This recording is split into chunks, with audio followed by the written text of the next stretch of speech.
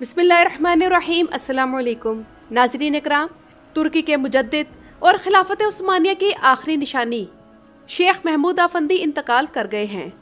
इनके अजीब शान कारनामों की एक तवील दास्तान है और ये वीडियो देखकर आप लोग हैरान रह जाएँगे कि किस तरह एक वाहिद शख्स तुर्की में इस्लाम फैलाने और लाखों बेदीन मुसलमानों की ज़िंदगी बदलने का सबब बना।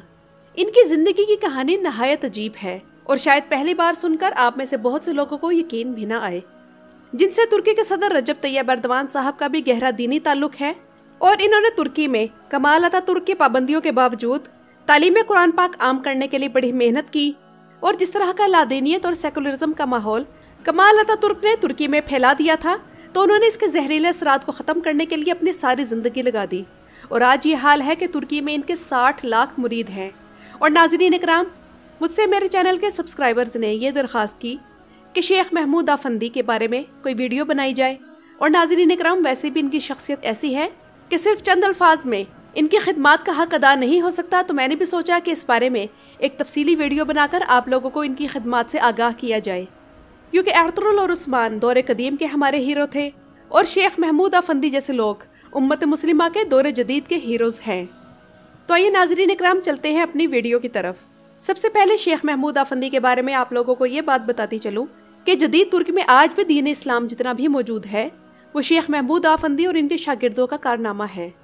अल जजीरा चैनल ने अपनी रिपोर्ट में शेख महमूद आफंदी के बारे में एक अजीब गरीब वाक्य नकल किया है।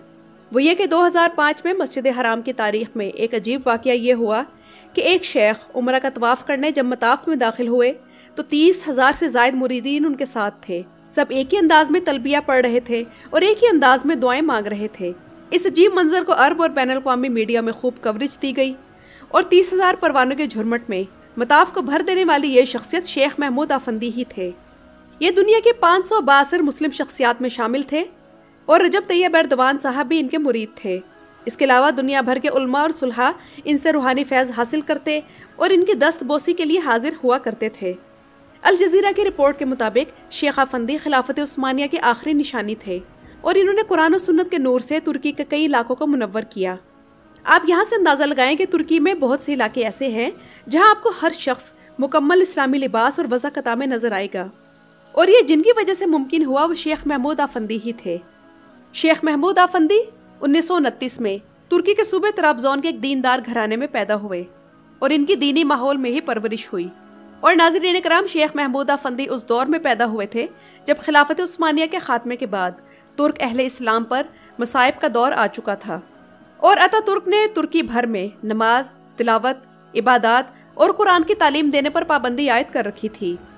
उस वक्त तुर्क फौज घर घर छापे मार रही थी और जिस घर से कुरान और जाय नमाज़ मिलता, इस घर के तमाम अफराद को गिरफ़्तार करके सख्त तरीन सजाएँ दी जाती। चुनाचे इस सूरत हाल को देखते हुए तुर्क उलमा ने शहरों से गाँव की तरफ़ या देहातों की तरफ़ हिजरत की और वहाँ दरख्तों और खेतों में तालीम ताल्लुम का सिलसिला शुरू किया। और उलमा जब देखते कि फौज छापे मारने के लिए आ रही है तो बच्चों को खेती बाड़ी की तरफ़ लगा देते और यूँ ये सिलसिला चलता रहा। और नाजरीन इकराम, इस तरह तालीम हासिल करने वाले इन बच्चों में शेख महमूद अफंदी भी थे, जिन्होंने इस सूरत हाल के बावजूद सिर्फ़ छः साल की उम्र में तमाम कुरान मजीद हिफ्स कर लिया। इसके बाद शेख महमूद फंदी ने इसी तरह चोरी छुपे। मुख्तलिफ़ शेख के पास दिनियात, तफसीर, हदीस, फ़िका, इल्म कलाम, बलागत और सरफ नहव के अलावा दीगर उलूम अरबिया भी हासिल किए। शेख महमूद आफंदी अगरचे हनफी मसलक से ताल्लुक़ रखते थे, लेकिन इसके बावजूद इन्हें चारों फ़िकी मसालिक पर मुकम्मल महारत हासिल थी। कहते हैं कि वो एक मस्जिद में 18 बरस तक लोगों को नमाज़ के लिए दावत देते रहे, लेकिन कोई भी इनके पीछे नमाज़ पढ़ने के लिए तैयार ना हुआ। और 18 बरस की मुसलसल मेहनत के बाद कुछ लोग नमाज़ की तरफ़ रागिब हुए। और इन्हें यह एजाज़ भी हासिल है कि जब सेकुलर हुकूमत ने तमाम अरबी किताबों पर पाबंदी लगा दी थी तो उन्होंने दीनी ूम के अशात के लिए इशारों की ज़ुबान से तदरीस का सिलसिला जारी रखा और तलबा को इशारों से पढ़ाते रहे। यानी कि आप ये कह लें कि अल्लाह ताला ने हज़रत आफंदी के हाथों पर मुकम्मल दीनी निसाब रख दिया था। और नाजरीन कराम उस अठारह साल की मेहनत का आज ये नतीजा निकला है कि आज जब इसी मस्जिद में अजान होती है तो जोक दर जोक लोग नमाज़ के लिए इस मस्जिद में आना अपने लिए बायस सादत समझते हैं। जो कि हज़रत आफंदी जैसे उल्मा के मेहनत और अखलास का नतीजा है। हज़रत शेख महमूद आफंदी का जो अकीदा है, वही अकीदा हज़रत आफंदी से इसलाही ताल्लुक होने की वजह से तुर्की के सदर रजब तैयब एरदवान साहब का भी है। नाजरीन इकराम, एक हुसन इतफाक आप देखिए कि हिंदुस्तान में जब मुसलमानों पर सख्त वक्त आया, तब भी दरख्त के नीचे बैठकर पहली बार सबक लेने वाले तालिब इल्म का नाम भी महमूद था। और तुर्की में जब दीनी हालात अबतर हुए, तब भी पहला शागिर्द महमूद नाम का ही था। हज़रत शेख महमूद आफंदी ने साल में तीन हफ़्ते इस काम के लिए रखे थे कि वो तुर्की के इलाकों में दावत और तबलीगी सफ़र के लिए रवाना होते थे। इसके अलावा आपने जर्मनी और अमेरिका समेत कई ममालिक के दावती और तालीमी दौरे भी किए। उसके बाद उन्नीस में आप इस्तंबुल में इस्माइल आगा मस्जिद के इमाम मुकर्र हुए और उन्नीस सौ छियानवे में रिटायर्ड होने तक वहीं रहे। इसके बाद वो इस्तंबुल में दरस तबलीग करते रहे और वहीं इनकी खानका भी है, जहाँ तुर्की समेत दुनिया भर से लोग आकर इनसे रूहानी फैज पाते रहे। शेख महमूद आफंदी के तुर्क अवाम पर बहुत ज़्यादा असर और रसूख की वजह से इन्हें फौजी जर्नल और रिपब्लिकन्स, यानी कि रिपब्लिकन पीपल्स पार्टी, हरासा करते रहे। खास तौर पर 1960 में जब तुर्की में बगावत हुई और मुल्क में हंगामी हालात हो गए, तब फौजी इंतजामिया ने इन्हें जलावतनी की सजा सुना दी और इन्हें तुर्की के वस्त में वाक़ एस के शहर भेजने का फैसला किया। लेकिन इस फैसले पर अमल दरामद की नौबत नहीं आई और आपके कई जानसार इस राह में डट गए।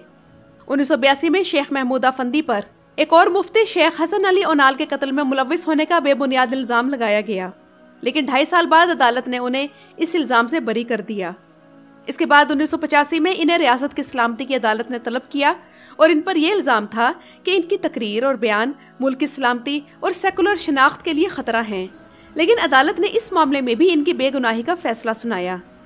और 2007 में इस्तंबुल पर इनके रिहाइश गाह के करीब इनकी गाड़ी पर फायरिंग की गई, लेकिन इनके कत्ल का ये मंसूबा नाकाम हो गया और शेख को अल्लाह ताला ने एक खराश लगने से भी बचा लिया। और नाजरीन इकराम, तुर्की ने वो वक्त भी देखा है जब कुरान पढ़ने वाले कम ही नज़र आते थे। अरबी में अजान तक पर पाबंदी थी। और ये थोड़ा नहीं, बल्कि बहुत तवील अरसे तक रहा। लेकिन शेख आफंदी की कोशिशों से इस अरसे में हज़ारों की तादाद में हफाज कराम तैयार हुए और हज़ारों तलबा तलबात को इस्लामी नहज पर तरबियत दी गई। और शेख आफंदी पूरी दुनिया में लाखों लोगों में इस्लामी बेदारी पैदा करने का ज़रिया बने। जदीद तुर्की और माशरे की इस्लाम में आफंदी रहमत का बड़ा अहम किरदार रहा है। इसी वजह से बाज अहल इल्म इन्हें तुर्किया का मुजद भी कहते हैं। और तुर्की ज़ुबान में आपकी ज़बरदस्त तफसीर रूहुल फुरकान एक अजीम इल्मी कारनामा है। इसी वजह से 2010 में बयालीस ममालिक के 350 उलमा कराम की मौजूदगी में शेख महमूद आफंदी को बैन अवी सिम्पोजियम अवार्ड से नवाजा गया। उसके बाद 24 अक्टूबर 2010 को इन्हें इमाम मोहम्मद बिन कासिम नानोतवी अवार्ड से नवाजा गया, जो इस्लामी दावत के मैदान में अपना असर छोड़ने वाली शख्सियात को दिया जाने वाला अवार्ड है। शेख महमूद आफंदी के मुरीदीन अपने खास लिबास की वजह से पहचाने जाते हैं। इनकी खातन सिया लिबास पहनती हैं, जिसे शुरशफ कहा जाता है। इसमें सिर्फ़ आँखें नज़र आती हैं। जबकि मर्दों का लिबास मशहूर उस्मानी तर्ज का है, जिसमें लंबी कमीज के साथ शलवार, ऊपर से लंबा जुब्बा और सर पर सफ़ेद अमामा पहना जाता है। इस जमात की एक और खासियत ये भी है कि चूँकि ये फ़िका हनफी पर नहायत शिद्दत से कारबंद हैं, इसलिए ये सवाई मछली के किसी और समुद्री जानवर के गोश्त को हाथ भी नहीं लगाते। इसी तरह जितनी भी सर्दी हो, ये जुराबों पर मसा नहीं करते। इसके अलावा अरबी नहायत फसी लहजे में बोलते हैं, जबकि कुरान फहमी भी इस जमात का खासा है। इस्तंबुल इस जमात का मरकज है और ख़ास तौर पर अली अतीक का इलाका इनका गढ़ है। यहाँ जाकर आपको मदीना मुनवरा का गुमान होता है। और जैसा कि मैं आप लोगों को अभी बता चुकी हूँ कि शेख महमूद आफंदी के मुरीदीन की तादाद साठ लाख है तो इसलिए आपकी जमात का बहुत बड़ा वोट बैंक है। इसलिए सियासी कायदीन शेख के खानका में हाजिरी देते रहते हैं। खास तौर पर तुर्की के सदर तैयब एरदवान और सबक वजी अजम अहमद दाऊ दोगलो वगैरह यहाँ आते रहते हैं। इसके अलावा तुर्क जराये का कहना है कि 2016 में तैयब एरदवान के खिलाफ बगावत को नाकाम बनाने में बुनियादी किरदार इसी जमात का था और सबसे पहले अली अतीक के लोग ही सर पर कफन बांधकर तुर्की की फौज के खिलाफ मैदान में उतरे थे और एक तुर्क जरीद अजमान के मुताबिक शेख अफंदी की जमात के लोग फतेह गोलन के मुरीदीन से कहीं ज़्यादा हैं। और ये तुर्की की कुल आबादी की कम अज कम तीन फ़ीसद है और है भी नहायत मुनज़म इसमें खातन का अलग से शोबा है और दीनी मदारस के साथ साथ ये कई तालीमी और रिफाही अदारे भी चला रहे हैं।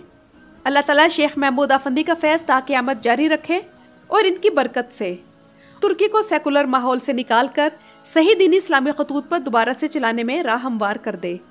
तो नाजरीन कराम ये तो था शेख महमूद आफंदी राहिमहुल्ला का मुख्तर सा तारुफ। अल्लाह ताला इनकी कब्र को जन्नत के बागों में से एक बाग बना दे और उसे अपने रहमत और फजल के नूर से मुनवर फरमा दे। आमीन। वीडियो के बारे में अपनी राय से आगाह ज़रूर कीजिएगा। मेरा चैनल विज़िट करने का शुक्रिया।